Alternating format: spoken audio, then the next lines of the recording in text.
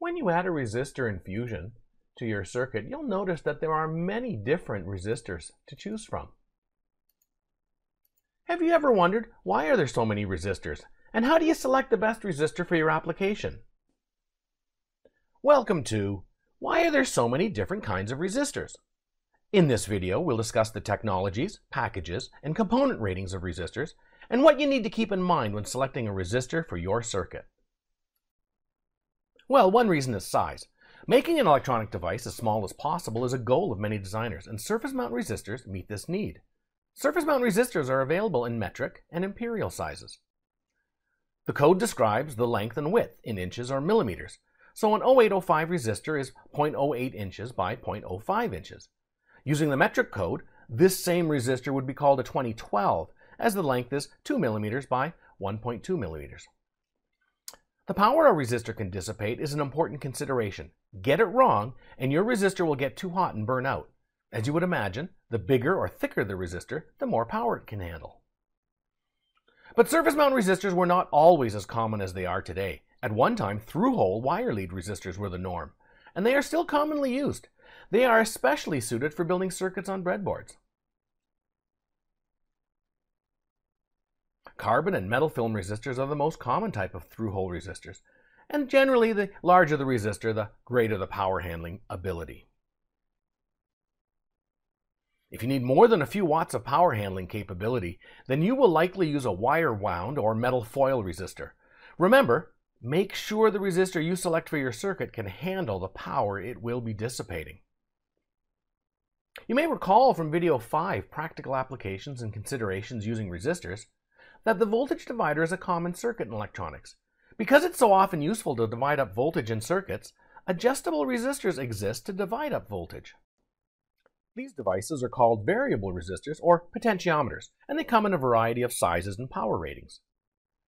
But they all consist of a resistive element with terminals attached at each end, and an adjustable wiper that rotates or slides along the surface of the resistance.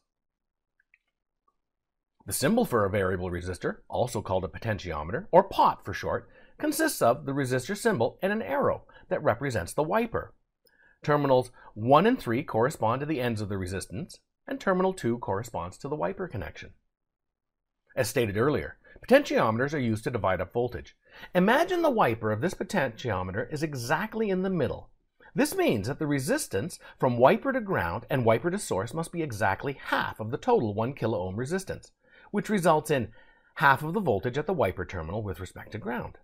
The variable resistor is able to provide a change in voltage or what in earlier days was called potential, and that's why variable resistors are often called potentiometers.